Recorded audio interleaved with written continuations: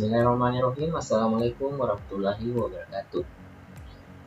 Pada video kali ini saya akan membahas tentang bagaimana cara membuat website dengan mudah dan dengan tampilan yang menarik. Sebelum masuk ke pembahasannya jangan lupa untuk like, comment, dan subscribe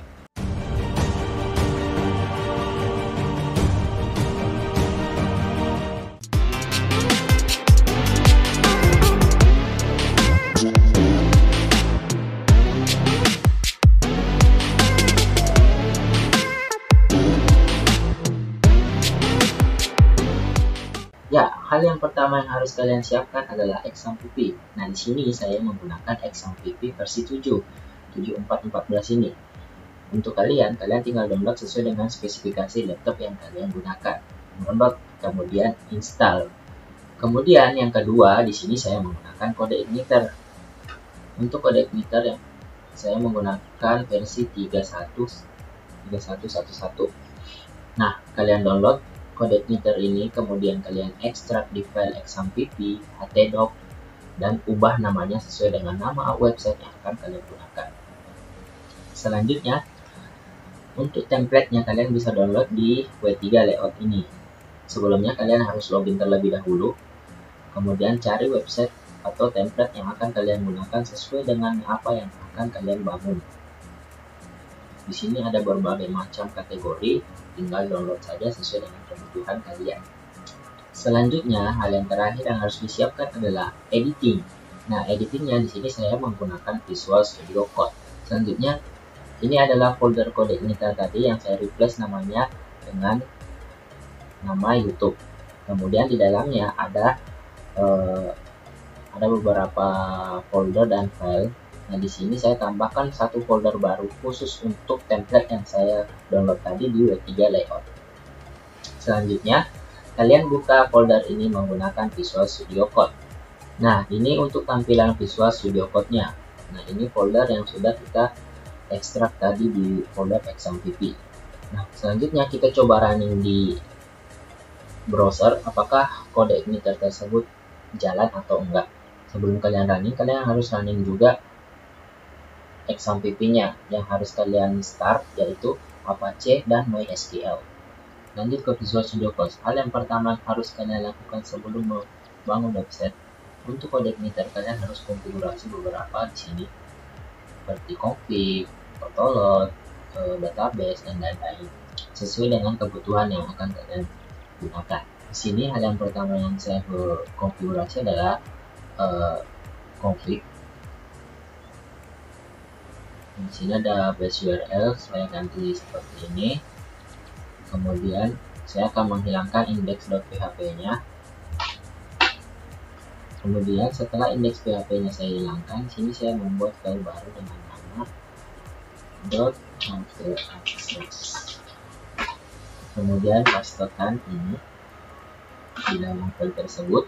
Nanti saya akan simpan di kolom komentar dan beberapa link-link download yang sebelumnya Selanjutnya ke tahap desain. Kita buka folder controller. Nah, di sini ada welcome.php. Ini adalah controller pertama yang akan dieksekusi oleh kode emitter untuk ditampilkan. Apa yang ditampilkan di welcome ini? Dia menampilkan welcome message, di mana welcome message itu ada di dalam folder view. Nah, di sini ada folder view, kita buka, dan di sini ada welcome.message, welcome underscore message. Nah, inilah yang akan dieksekusi dan ditampilkan pertama di kode igniter. Kemudian di welcome ini kita ubah sedikit.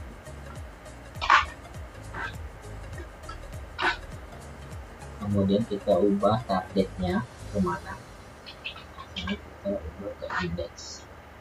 Nah, di sini saya sudah sebelumnya saya sudah buat indeks dengan isinya. Isinya ambil dari mana?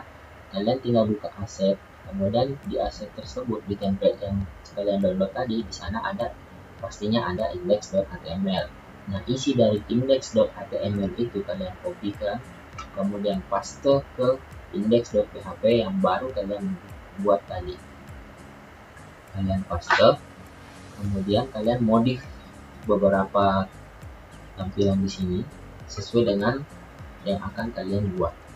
Yang sebelum itu kita arahkan dulu untuk link-linknya ke folder aset. Nah di sini dia langsung ke CSS, CSS, CSS, CSS dan lain-lain. Agar templatenya mengarah ke folder aset, kita tinggal tambahkan. Di sini kita tinggal tambahkan aset slash aset slash CSS. Nah, bisa dilihat di sini ada aset, folder aset, kemudian CSS. Nah, untuk mengubah sekaligus, kalian tinggal lakukan seperti ini. Blok harap sampai dengan sama dengan kutip kemudian tekan Ctrl D. Setelah kalian tekan Ctrl D kalian tekan panah ke kanan sekali. Kemudian kalian tinggal tuliskan aset aset slash tidak sampai di situ. Kita hapus beberapa di sini. Karena ini tidak mengarah ke folder aset nah, bukan hanya link ahref link ahrefnya aja. Kemudian yang kedua yang harus kita arahkan ke folder aset adalah src nah di sini ada src kita lakukan hal yang sama blok Ctrl D. Kemudian arah kanan sekali tuliskan nama folder aset yang si slash. Kemudian kita coba running di browser. Dan cara ketika localhost nama aplikasi atau nama folder tadi enter. Nah maka akan tampil tampilan utama dari aplikasi yang sudah kita buat tadi. Nah, ini tampilan utamanya tampilan desain dari template yang saya download tadi sangat gampang bukan Selanjutnya saya akan mengubah beberapa di sini. Ini ada titelnya. Nah, saya coba ubah titelnya di kode Twitter. Nah, di sini saya coba ubah dengan nama YouTube. Saya simpan dan kemudian saya coba ubah nama menunya. Tes untuk memastikan saja. Kemudian saya coba reload ulang di sini. Coba reload ulang. Nah maka titelnya sudah berubah nama menunya juga sudah berubah. Sisanya tinggal kalian desain dan modif sesuai dengan kebutuhan kalian. Mungkin sampai di sini saja tutorial YouTube kali ini. Jangan lupa like, comment, dan subscribe. See you next tutorial